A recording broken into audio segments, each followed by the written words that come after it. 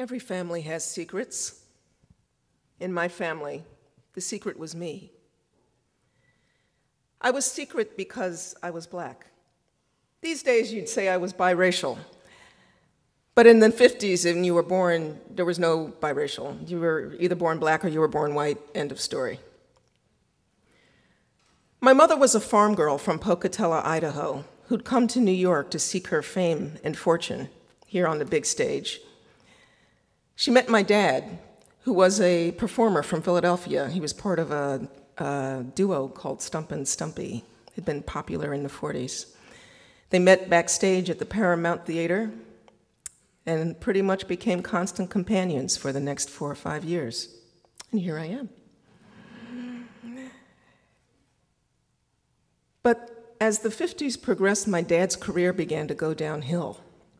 And as his career began to go downhill, so did his life, and he drank more and more. And the more he drank, the angrier he got. And in some kind of twisted sort of vision, he thought that if he beat my mother long enough, she'd stay with him. My mother had sunk pretty low, but she hadn't sunk so low that she was willing to stay with a man who beat her every day. So sooner or later, she got up. I was about 18 months old. She left him, and we moved into another apartment um, the Upper West Side of Manhattan. And that's where I lived with her for the next four or five years. But there was one problem. She had left, she had had the courage to get into a relationship with a black man, but she didn't have the courage to raise this child who looked like me, who was me. And so she began to leave me for periods of time with a friend of hers in Atlantic City, New Jersey. Um, it was a couple that she called Peggy and Paul, and whom I would come to call Aunt Peggy and Uncle Paul. And I would go and I would stay with them for periods of time. And gradually, one day, it was about a week before I would have started my first day of school, she left me there, and I never came back to New York. And she, so the way it worked was this I would go to school Monday through Friday in Atlantic City. Um, and then on school vacations or breaks, I would come visit my mom here in New York. Um, and I really lived two lives. I lived a life uh, where I liked, um, I lived when I was with my mom, the life where I liked Perry Como and the Beatles and Barbra Streisand. And then when I was in Atlantic City, I lived a life where I liked the Four Tops and James Brown. Um, and uh, that's sort of the way life went. Aunt Peggy was a very strict disciplinarian. She thought that my mother had been way too lenient with me, which mom had been. There was no structure in mom's house. When I lived in Atlantic City, mom had, uh, Peggy had structure. If you can imagine trying to live with two mothers, having one is bad enough. Here I had two. I had one very strict one, and one who was actually very demanding. My mom was very demanding, but when I would go to visit my mother on weekends, there was absolutely no structure. We would leave the Port Authority, go out, head out to the uh, rotisserie chicken place across the street from uh, Port Authority, pick up a chicken, go home, eat dinner at 11:30 at night, stay up and watch whatever was on television as long as I wanted until I fell asleep. And then the next day, we would get up, go to a matinee, usually on Broadway. We might go to a second one on Saturday night, and then to whatever we could watch on Sunday, matinee as well, before I got back on the bus and went to Atlantic City, went back to Atlantic City. It was almost like, I used to liken it to crossing a razor blade. Um, and if I crossed it carefully, it would scrape instead of cut. Six years went by in this fashion, and gradually she began to date other men, and finally she began dating um, a comic and character actor, who some of you may know. Um, he was Larry Storch. He became uh, Corporal Agarn in the series F Troop in the 60s. And uh, mom was elated that she'd finally found a man and thought she was finally going to be able to actually get him to marry her, which had been the driving force of her life to try to become Mrs. Somebody. Um, and one night, one day while I was here, one weekend while I was here in New York, she threw a party for Larry and his family and the managing agent. And she asked me to play a game with her. And the game was call her Aunt Norma during the entire period of this party. And being eight years old and not knowing really what she was asking me to do, I said, fine, I will. And I did. But at some point during the uh, evening, the adults started giving me champagne. Being a showbiz crowd, it was, they sort of was sort of cute to see a, um, a sort of tipsy eight-year-old running around the house. And I slipped and I called her mom. And she snatched me and dragged me into the bathroom. And really, her face was so contorted with, I thought then was anger, but what I now know was fear. And she said, Don't you ever call me mommy in front of people like this. Don't ever call me mommy in front of Larry's family. He'll be, they will disown him and we'll lose everything. And I hung my head, not knowing quite what I had done. And I said, Yes, Aunt Norma, I won't. And I went back to Atlantic City and I told Aunt Peggy and Uncle Paul about this, and they were horrified. Um, and then several months later, when mom called to say that she was going to become Mrs. Larry Storch, that her dream was finally going to be fulfilled, I was as elated as she was. I was jumping all around the house.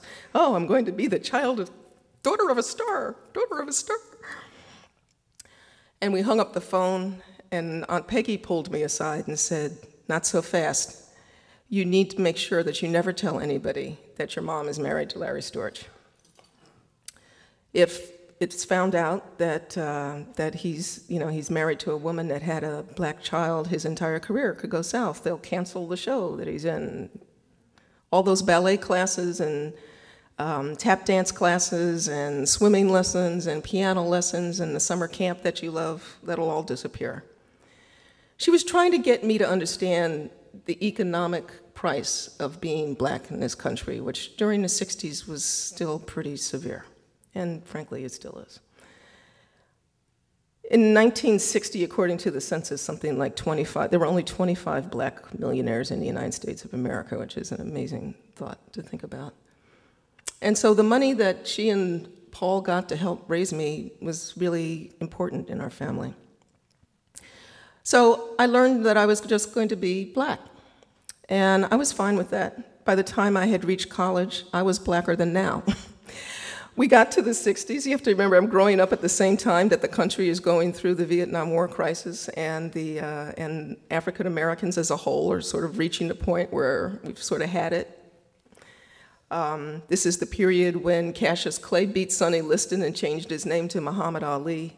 It's the period when Stokely Carmichael invented the phrase Black Power. Um, I went to work with the Black Panther program. I you know, served breakfast in Atlantic City, New Jersey. I sold the papers as long as Aunt Peggy would let me, and she found out about that and put the kibosh on that pretty fast.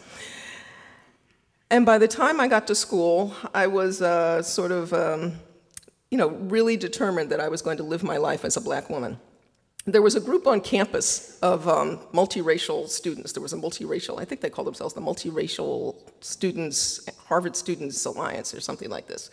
And I refused to join them because I didn't want to have anything to do with being multiracial. If I was multiracial, why had I just lived this entire painful existence that I'd been growing up with?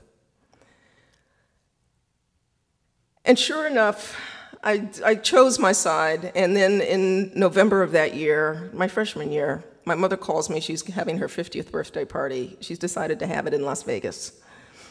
Now, as a card carrying member of the Black Panther Party and an avowed socialist at the time, going to Las Vegas was a counter revolutionary act. I couldn't figure out what I was going to do. But Aunt Peggy had raised me to always do what my parents told me to do. So mom was turning 50 and she wanted me to come to Las Vegas. I was going to have to figure out a way to go to Las Vegas. But I went to Las Vegas on my terms. I had this big afro that was like, you know, bigger than Angela Davis's. uh, some of you remember the Roberta Flack's first album. I had a leather miniskirt and my leather high heeled boots and my fishnet stockings and I arrived at Caesar's Palace in Las Vegas to a sea of white folks wearing chiffon and Indian and coral turquoise jewelry. and I didn't want to have anything to do with them, but there I was with my mom and with Larry. She was wearing a Ralph Lauren original navy blue rayon long uh, gown and a white feathered uh, headdress, looking gorgeous as she always did. Um, and she wanted to go see Johnny Cash for her 50th birthday. Now, black folks don't listen to country music in Atlantic City, New Jersey. So this really wasn't happening for me. I was like, Johnny Cash, are you serious? So we go to, we, I had to go because she was going. So we go and we're sitting in the grand ballroom of Caesar's Palace, which I think at the time was the largest place I'd ever been in. It was just huge. And Larry looks around and all of a sudden he sees the heavyweight champion of the world, Muhammad Ali, sitting a few tables away. And we get up and we go to meet Muhammad Ali. Muhammad Ali, at that time, who was still the heavyweight champ, was still in shape. He was the biggest man I have ever met. Huge. Just he was like it was like meeting the Berlin Wall.